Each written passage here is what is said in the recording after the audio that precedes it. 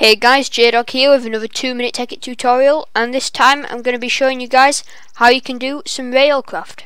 So I'm going to be showing you guys how you can make a coke oven.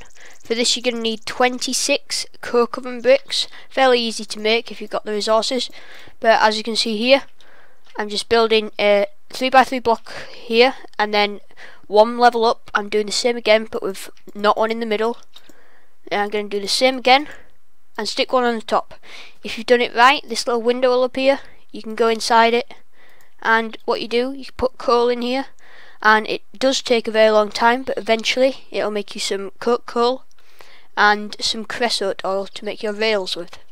Uh, another cool thing you can make is the blast furnace. It's basically made the same but one level higher. I'm just going to show you how you can do this here. Up here, again, leaving one in the middle and instead of putting one there you go up one more level than the coke oven. And stick one here.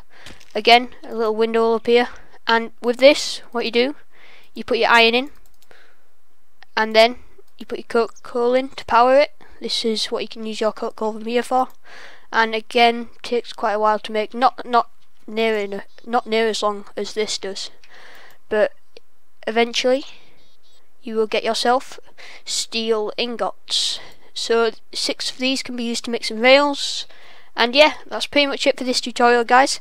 As you can see over here I've got some of my other tutorials I've done. Yeah, go and check some of those out. I'll put the most recent one in the uh, in the description. So I hope you've enjoyed this. This has been J-Dog. Subscribe for more, like if you if this video helped you. And I'll probably do a video on how to automate this system so you can pull the call out and stuff. So I'll see you guys next time.